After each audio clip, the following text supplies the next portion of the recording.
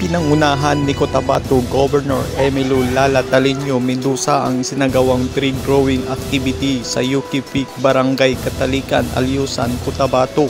kasama ang iba't ibang government line, line agencies. Abot sa 500 forest trees ang itinanim sa slope areas ng Yuki Peak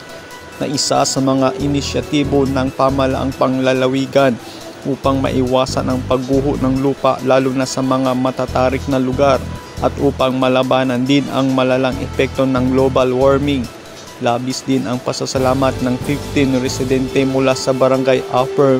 Migading at Katalikan dahil sa food and cash for work na ibinigay ng probinsya para sa kanilang voluntaryong pagtulong na maging matagumpay ang aktibidad. Ang tree planting activity